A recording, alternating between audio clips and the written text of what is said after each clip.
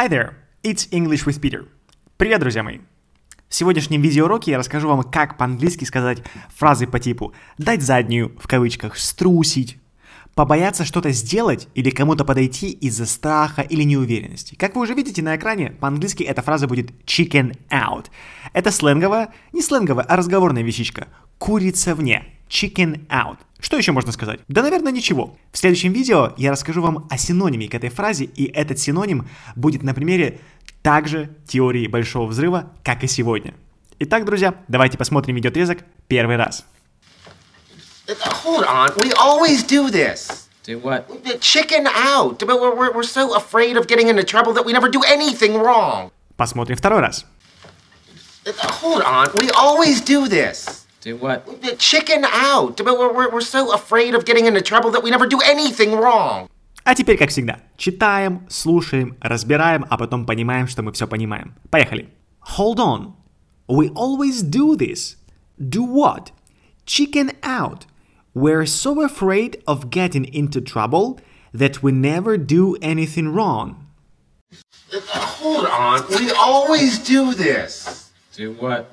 Chicken out. We're, we're, we're so afraid of getting into trouble that we never do anything wrong. Послушали в замедлении, прочитали, повторяем, делаем второй раз. Hold on. We always do this. Do what? Chicken out. We're so afraid of getting into trouble that we never do anything wrong. Hold on, we always do this. Do what?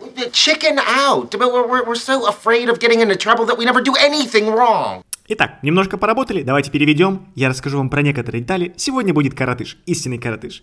И потом мы еще разок попрактикуемся в понимании на слух. Итак, Леонард говорит, да постойте же, мы все время это делаем. На что Говард отвечает, что делаем-то? И Леонард продолжает, даем заднюю, трусим. Мы настолько боимся попасть в неприятности, что никогда ничего неправильного не делаем. Итак, друзья, на что я бы хотел обратить ваше внимание? Первая фраза Леонарда «hold on». Hold on, hold on. Hold – держать, on на hold on. Если вы никогда не были знакомы с этой фразой, то мы ее используем, когда мы, допустим, когда мы общаемся с кем-то, и мы не совсем поняли, что сказал человек, или удивлены. Hold on, типа, постой, погоди, hold on, hold on. Также, когда, допустим, человек торопится, его речь слишком быстрая, как, допустим, у меня, и собеседник может сказать hold on, hold on, hold on, типа, погоди, попридержи коней, hold on. Также, друзья, в эту фразу фразу, фразу. Также, друзья, в эту фразу можете использовать, когда, допустим, человек очень быстро едет на машине, и впереди какие-нибудь ухабы, и он своим пассажирам говорит «Hold on, guys!» Типа «Держитесь, друзья! Держитесь, ребята! Hold on!»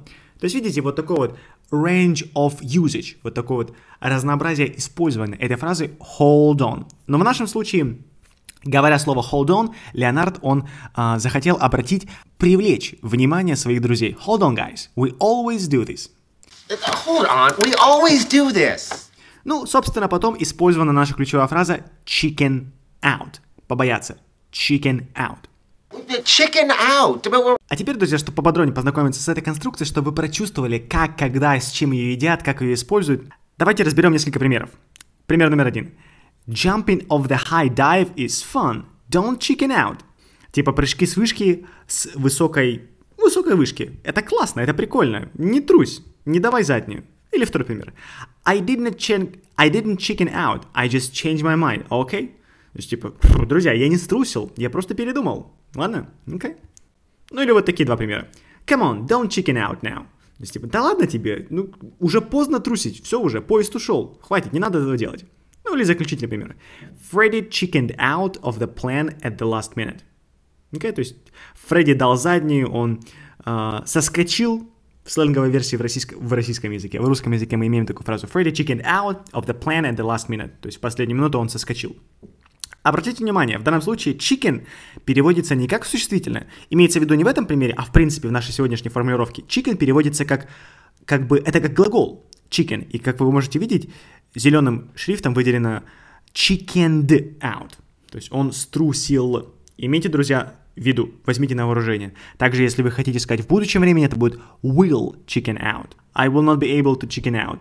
It will be my best friend with me. То есть я не смогу струсить, потому что вместе со мной будет мой лучший друг, и он меня поддержит. He or she will support me. На что еще, друзья, хотел бы обратить ваше внимание. Смотрите, третья строка, зеленым цветом выделенная фраза «We're so afraid of getting into trouble».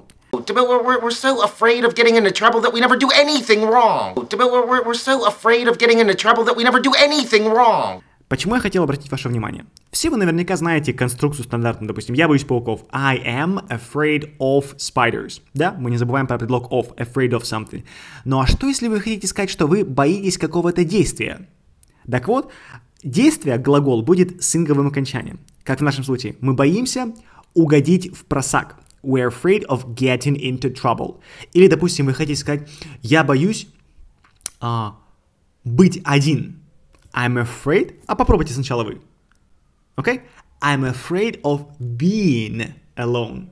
Или, допустим, я боюсь есть э, морскую пищу, мор мор морских гадов, морскую продукцию. I'm afraid of eating seafood.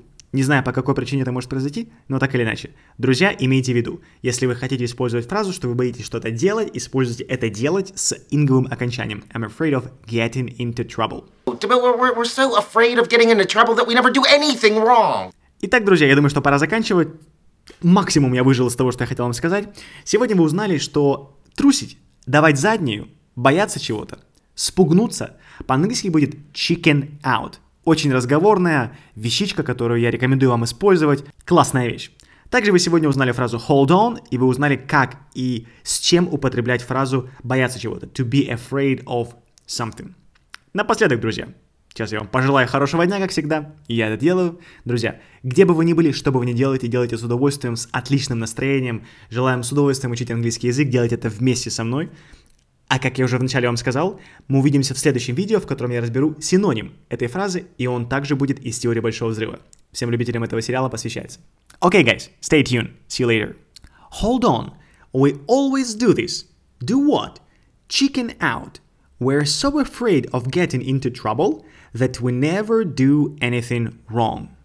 Hold on. We always do this. Do what? The chicken out. We're, we're, we're so afraid of getting into trouble that we never do anything wrong. Uh, hold on. We always do this. Do what? The chicken out. We're, we're, we're so afraid of getting into trouble that we never do anything wrong.